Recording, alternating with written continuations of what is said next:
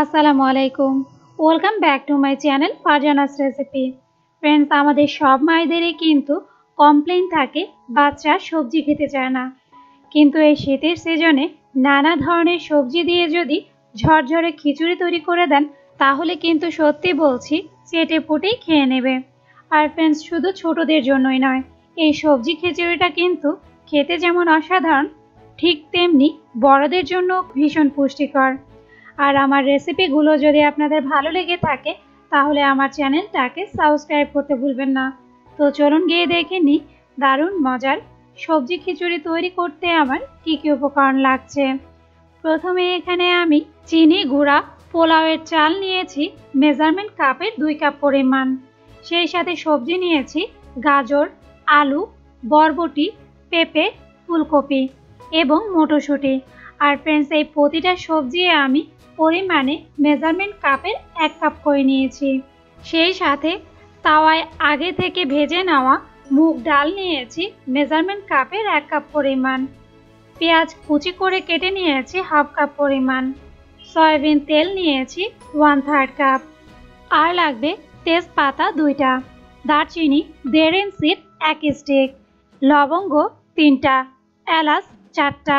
সেই সাথে শাহি জিরা এক চা চামচ পরিমাণ।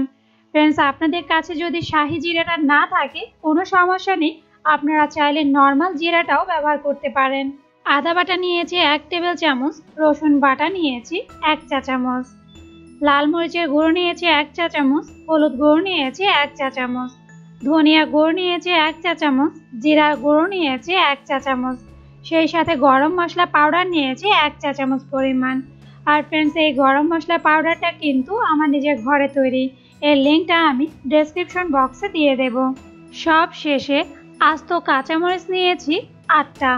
ধনিয়া পাতা কুচি করে নিয়েছি দুই টেবিল চামচ পরিমাণ। চিনি লাগবে স্বাদের ব্যালেন্সের জন্য এক চা চামচ। ব্যাস, এই উপকরণগুলো দিয়েই কিন্তু তৈরি হয়ে যাবে শীতের সবজি খিচুড়ি।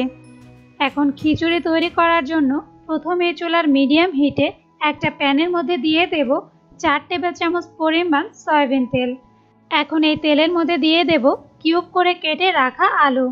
ফ্রেন্ডস, আলুটা যেহেতু সেদ্ধ হতে একটু সময় বেশি লাগে, তাই অবশ্যই কিন্তু প্রথমেই তেলের মধ্যে আগে আলুটাকে আমি হালকা একটু ভেজে নেব, যেন আলুটা কিছুটা হলেও সেদ্ধ হয়ে যায়। এখন চার থেকে পাঁচ মিনিট আলুটা ভালো করে ভাজা হয়ে গেলে এর মধ্যে অ্যাড করে দেব ফুলকপি। আর ফ্রেন্ডস ফুলকপিটা কিন্তু আমি একটু বড় সাইজের করেই কেটে নিয়েছি। এখন ফুলকপিটাও আলুর সাথে আবারও আমি পাঁচ মিনিট ভেজে নেব। এরপর এতে অ্যাড করে দেব কিউব করে কেটে রাখা গাজর। এখন গাজরটাও চার থেকে পাঁচ মিনিট ভেজে নেওয়ার পর এর মধ্যে অ্যাড করে দেব পেঁপে। পেঁপেটাও ভাজা হয়ে গেলে সব শেষে এতে অ্যাড করে দেব বরবটি।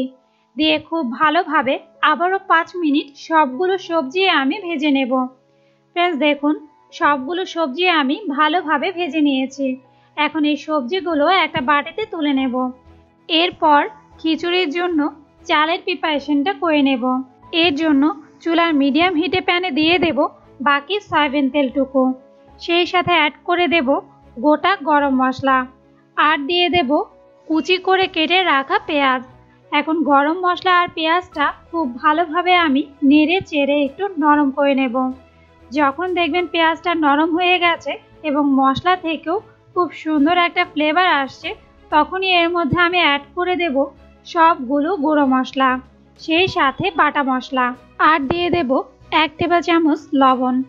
এরপর এতে অ্যাড করে দেব জাস্ট তিন টেবিল চামচ পরিমাণ পানি, যেন মশলাটা খুব ভালোভাবে একসাথে মিশে যায়। এখন মশলাটা ভালোভাবে মেশানো হয়ে গেলে এই মশলার মধ্যে আমি অ্যাড করে দেব আগে থেকে ভেজে রাখা মুগ ডাল।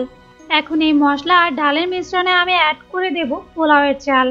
দিয়ে আবারও খুব ভালোভাবে সবগুলো উপকরণই নেড়ে চেড়ে মিশিয়ে নেব এবং ঘড়ি ধরে পাঁচ থেকে সাত মিনিট চাল এবং ডালটা মশলার সাথে ভেজে নেব।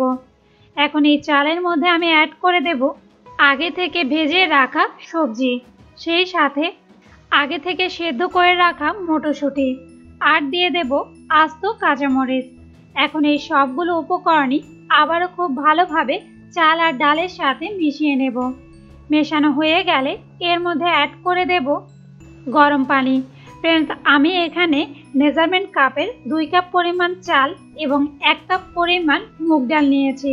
তাই গরম পানিটা ব্যবহার করব মেজারমেন্ট কাপের ছয় কাপ পরিমাণ। এখন আবারও আমি সবগুলো উপকরণই নেড়ে চেড়ে পানির সাথে মিশিয়ে নেব। এরপর এতে অ্যাড করে দেব এক চা চামচ চিনি। দিয়ে আবারও ভালোভাবে নেড়ে চেড়ে প্যানে ঢাকনা দিয়ে দেব চুলার মিডিয়াম হিটে দশ মিনিটের জন্য। দেখুন, দশ মিনিট পর খিচুড়ির পানিটা কিন্তু পুরোপুরিভাবে শুকিয়ে গেছে। এখন এই খিচুড়িটাকে আবারও ভালোভাবে নেড়ে চেড়ে এর মধ্যে অ্যাড করে দেব দুই টেবিল চামচ পরিমাণ ঘি। সেই সাথে দুই টেবিল চামচ পরিমাণ পেঁয়াজ বেরেস্তা। আর দিয়ে দেব দুই টেবিল চামচ পরিমাণ ধনিয়া পাতা কুচি। দিয়ে প্যানে ঢাকনা দিয়ে দেব চুলার একেবারে লো হিটে দশ মিনিটের জন্য।